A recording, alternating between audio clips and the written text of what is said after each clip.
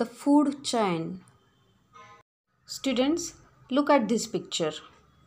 In this picture, you can see the sun, plants, grasshopper and bird. We can see here grasshoppers eat grass and leaves. Birds eat grasshoppers. Can you tell who eats birds? Smaller birds are killed and eaten by bigger birds. Cats and snakes may also hunt the smaller birds. Man also kills birds for food. What is the food of plants? Water and minerals present in the soil is food for plants. Plants take up water and minerals from soil with the help of their roots.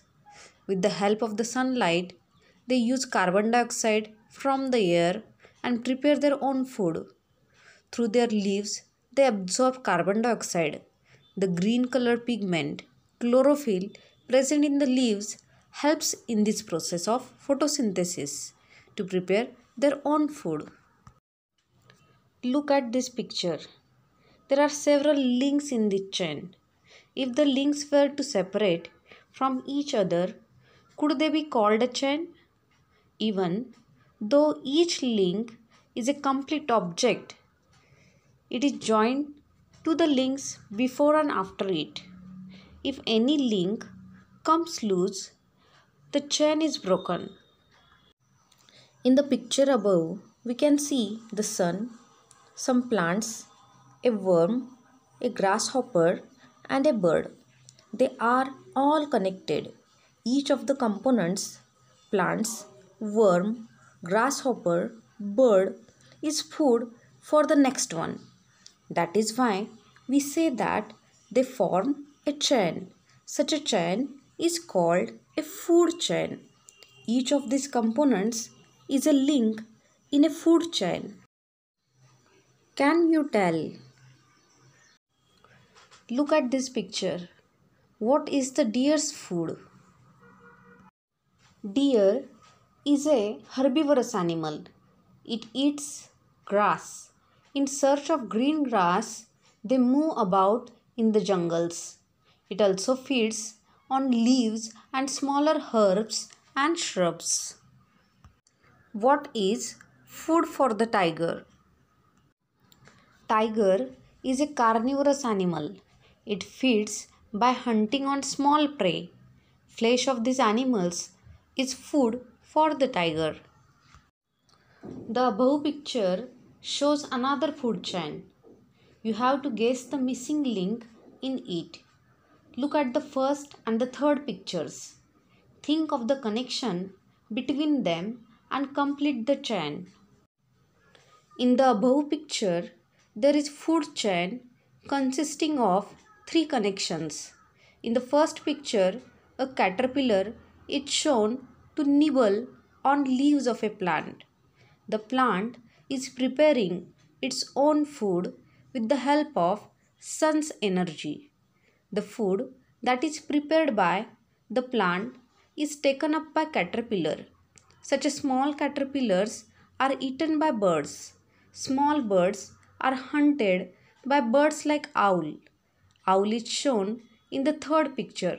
So, in the middle picture, there should be a small bird. All these animals are connected through food chain. They are dependent upon each other for food. In nature, there are many food chains. If one of the links in a chain becomes extinct, can the food chain last? Living things depend upon each other for food and feeding. They are interconnected through the food chain. The interdependence among themselves for food is called a food chain. In nature, there are different types of food chain. If any one connection is lost in a food chain, then that food chain comes to an end. The most important food in food chains is plants. Every living thing gets its food from the environment. Many animals in the environment eat only plants. Other animals eat the animals that live on plants. But plants make their own food in the presence of sunlight using water and the carbon dioxide from the air. It means that plants are the main support of every food chain. Can you tell? Find the different food chains of which the worm and the mouse form a link. Here are the food chains. Plants are food for worms. Worms are food for mouse. Mouse is food for eagle. The second one is plants are food for worms. Worms are food for mouse. Mouse is food for snake. The food web. One living thing can be a part of a number of food chains that gives rise to a food web in nature. Let's observe the various food chains shown in this picture. Plant is a food for deer and deer is food for fox. Again, plant is a food for deer and deer is a food for lion. Plant is a food for grasshopper. Grasshopper is food for frog. Frog is food for snake and snake is food for eagle. Plant is food for grasshopper. Grasshopper is food for bird. Plant is food for worm. Worm is food for bird. Plant is food for squirrel. Squirrel is food for eagle. Plant is food for mouse. Mouse is food for snake and snake is food for eagle. Plant is food for mouse. Mouse is food for eagle. Plant is food for rabbit. Rabbit is food for eagle. Plant is food for rabbit. Rabbit is food for fox. Plant is food for rabbit. Rabbit is food for lion. In this way, we can see there is a formation of a great food web.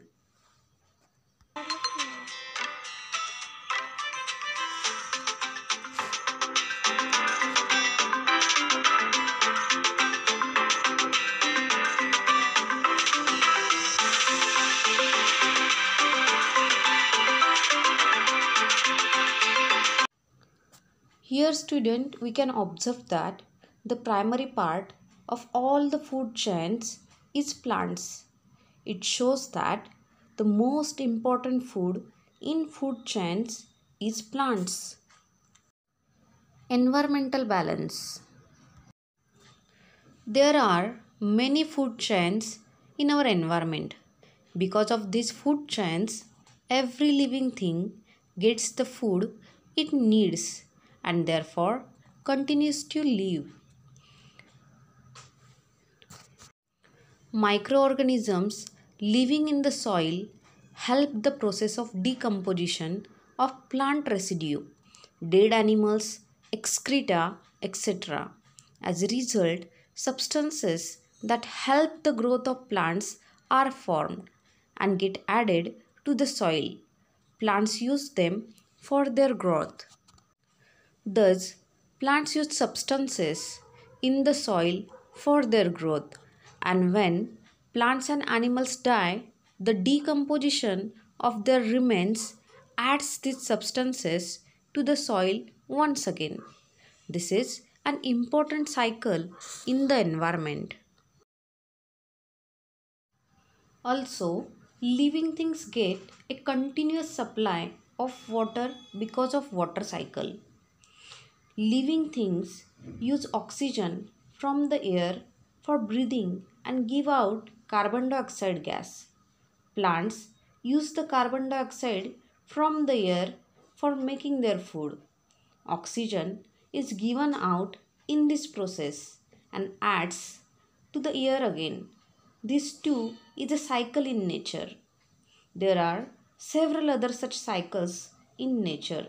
Thus, there is interaction amongst living things and between living and non living things the interactions go on continuously. This helps to maintain the food chains in the environment. When the various cycles in the environment go on uninterrupted, environmental balance get maintained. Always remember for the existence of living things, it is important that environmental balance is maintained. What we have learned there are innumerable types of living things on the earth. There is interaction between living and non living things in the environment. Different kinds of animals, plants, and microorganisms are found in different regions of the earth. The water cycle, various other cycles, and food chains in nature help to maintain the balance in the environment.